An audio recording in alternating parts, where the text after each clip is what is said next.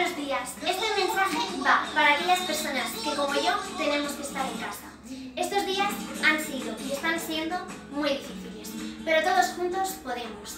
Por eso, tenemos, no tenemos que perder nunca ni la energía, ni la positividad, ni la ilusión, ni la esperanza, ni las ganas de vivir.